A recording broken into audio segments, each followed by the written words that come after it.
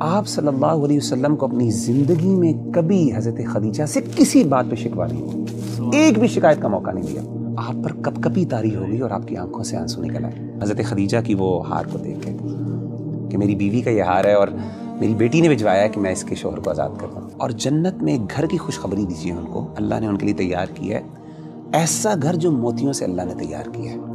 तो रवि भाई, ये जो मोहब्बत है ना, ये वाली जो मोहब्बत है, जो साथी वाली मोहब्बत है कि जो आपके साथ हो, जो आपका मददगार हो the one who has your back actually जब कोई भी नहीं था आपके साथ, ये मोहब्बत बहुत आला दर्जे की होती।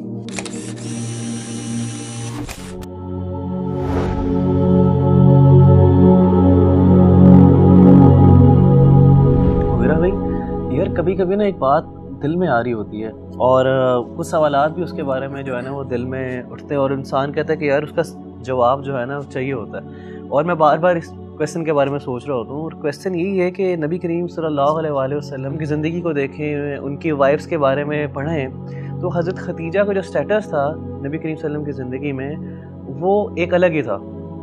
तारीख़ ने जिस तरह हमें बताया है, और नबी करीम सल्लल्लाहु अलैहि वसल्लम से जो हमें पता चला, और अम्मा आयशा की जो नरेशन हमें नज़र आती हैं कि अल्लाह के नबी वसल्लम की ज़िंदगी में हज़रत खतीजा का जो स्टेटस था, और जो मोहब्बत थी, उसकी मिसाल नहीं है। और अल्लाह के नबी वसल्लम ख़ुद हज़रत खतीजा को एक मुकाम देते थे अपनी ज़िंदगी में।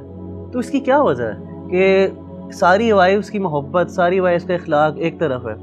और हज़रत खतीजा का जो जो स्टेटस है, जो उनकी मोहब्बत है, जो मुकाम अल्लाह के वसल्लम की ज़िंदगी में है, वो एक अलग है। असल में आप ये देखें कि इंसान ना बाद अपनी ज़िंदगी के कुछ ऐसी मुश्किल मराहल पर होता है।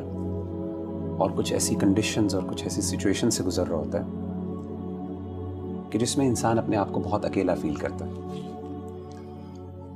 और ना सिर्फ़ वो अकेला फील करता है बल्कि उसको ये एहसास होता है कि शायद जिस चीज़ के लिए मैं लड़ रहा हूँ ना वो शायद दूसरों को समझ नहीं आ रही उस बात की। उसकी अहमियत का लोगों को अंदाज़ा नहीं हो रहा।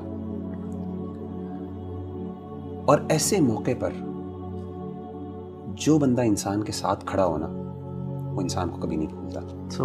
ऐसे नबी सल्लल्लाहु अलैहि वसल्लम जो थे जब आपने नबूवत का ऐलान किया तो सबसे पहले आपके अपने रिश्तेदारों ने आपकी मुखालफत की।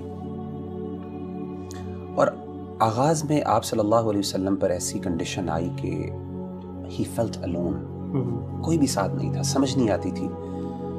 अपने रिश्तेदार और अपने फैमिली वाले मेंबर्स को भी नहीं समझा पा रहे थे कि ये चीज़